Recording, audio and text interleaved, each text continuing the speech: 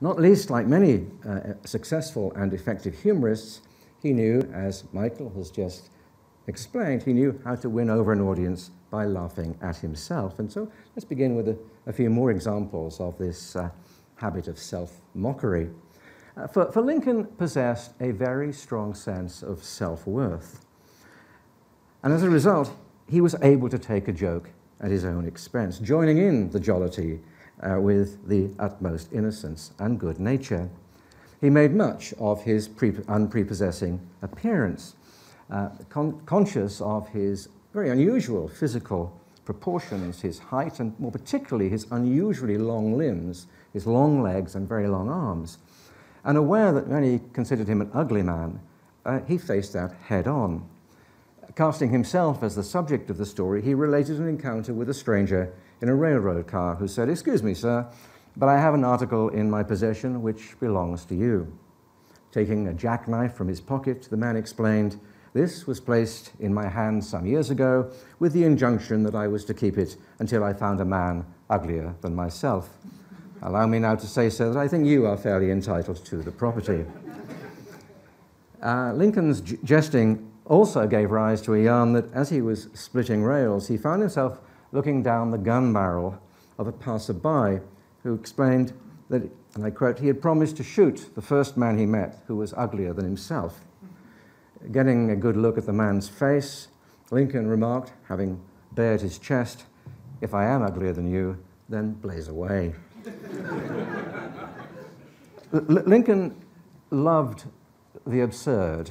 Um, he loved tall tales. According to Noah Brooks, he thought that the chief characteristic of American humor was its grotesqueness and extravagance. He loved the story of Bill, the village drunkard. There are a, lot of drunks in Lincoln's stories. Uh, a drunkard who got uh, catastrophically uh, intoxicated on a day of heavy rain, staggered down an alley, and fell asleep in a bed of mud. Waking as it was getting dark, uh, he sought uh, he sought out the public pump to wash himself. On his way, he met another drunk uh, leaning over a horse post, which Bill mistook for the pump and at once took hold of the arm of this man for the handle, the use of which set the occupant of the post to throwing up.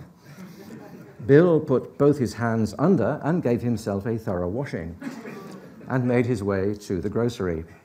As he entered, one of his comrades, horrified by the sight, exclaimed, Why, Bill, what in the world is the matter?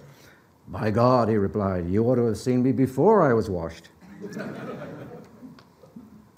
there need be no surprise that Lincoln um, celebrated for the, the craftsmanship, economy, energy, and idiomatic color of his prose, should have loved the humorous possibilities and curiosities of the English language.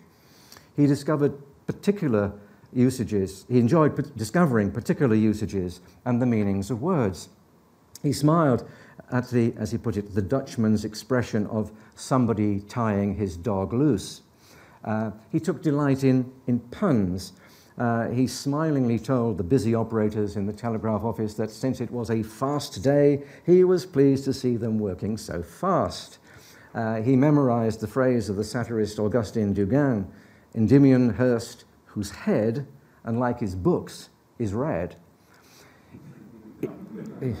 In court proceedings, Lincoln knew how to use a pun to advantage. An opposing lawyer who claimed that he could bring a man to prove, a li- uh, to prove, an, uh, to prove an alibi heard Lincoln shooting back, I have no doubt you can bring a man to prove a alibi.